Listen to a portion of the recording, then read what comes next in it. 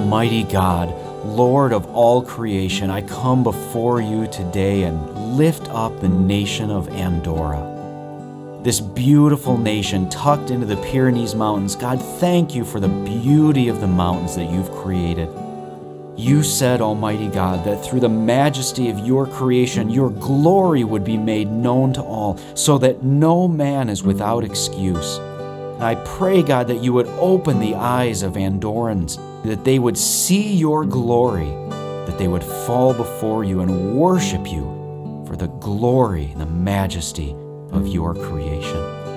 I thank you for these hundred thousand in this small country, this country that sees more than 10 million people traveling through it every year. God, let your gospel take root in this country. Heavenly Father, I thank you that your church has taken root in this land and was planted centuries and centuries ago. But Father, your church has grown cold. 90% of the people in Andorra claim the name of Christ, God, but the church has become a cultural one and is not marked by a living and vibrant faith. Oh God, call your people back to you.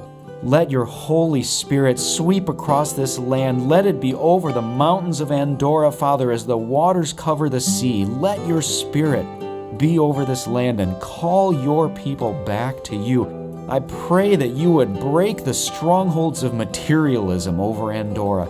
These people who have sought comfort in things, who have sought comfort in wealth, God, break those strongholds in Andorra and let people come before you because only you can set us free, God. I pray that people in Andorra would find freedom in you and not in material possessions. Father, I thank you for so many expatriates who you've brought to Andorra from Europe and other parts of the world who fervently seek you. And I pray that you would use them, Lord, that you would pour your spirit into them, that they would have a zeal for sharing with Andorrans and others around them in this country. With the millions of tourists coming through this country, that your word would be made known and that you would use the believers who you've brought to this land to speak to others about you.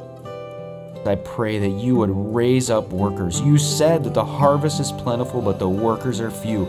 Therefore, ask the Lord of the harvest to send workers. And so I pray that you would send workers into Andorra, God, this small and, and often forgotten country in the heart of the mountains. Lord, send workers that they would faithfully preach your word.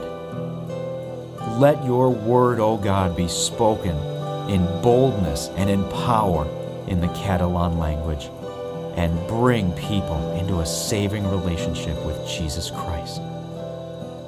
I ask all these things in the beautiful and bold and majestic and powerful name of Jesus Christ. Amen.